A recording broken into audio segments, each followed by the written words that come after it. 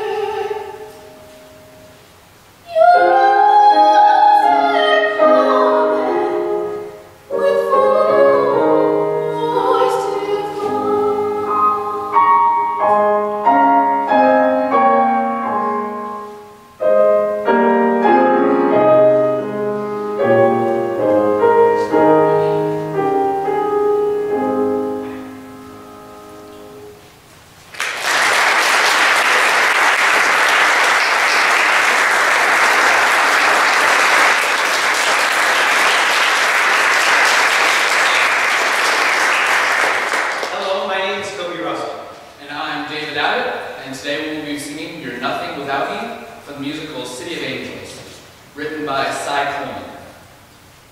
In this piece, uh,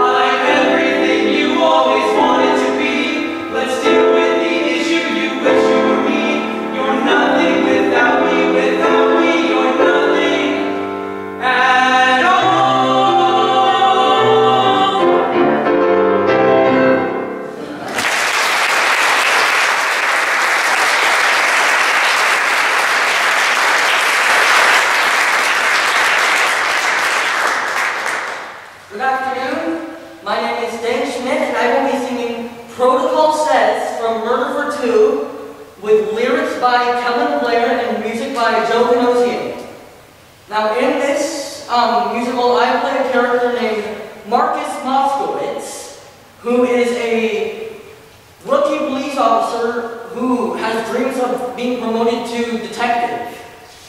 Now on this particular night, he's been called to the scene of a recent murder to keep his eye on 10 suspects because the detective is an hour away.